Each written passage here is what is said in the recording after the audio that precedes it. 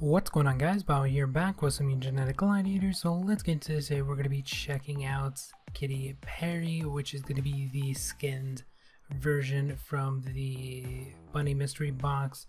If you were actually able to get it, you will actually need the character as well, so hopefully you got it like I did in one uh, go without spending too much gold. The speed, of course, is 6.67 one shot, seven injuries as the first skill, and then Acrocat as the second.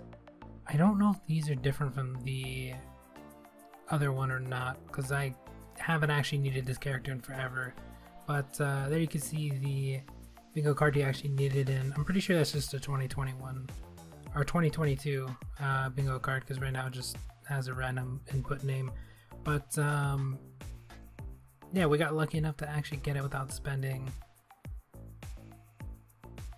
Was it a thousand? I think we didn't have to spend that much. Um, yeah, I think the box was a thousand, so pretty good for grabbing the character. Although we did miss a ton of other boxes that we did try, so it's not like we always get them. But um, yeah, we got lucky with this one. We do have other Easter characters that we got to get done as well, so I'll be getting those done and putting those out.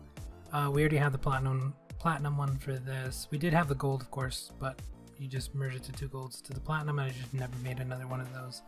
And then, um, yeah, that's pretty much it. Um, unless we get any more skinned versions. Hopefully, we actually get a way to actually make skinned characters in terms of all of them, or just like a less than 1% chance or something like that with breeding because uh, the boxes are pretty crazy. Um, they're pretty much all over the place in terms of actually getting them, so I wouldn't spend too much. Maybe just try once or twice or something like that if you have a ton of gold.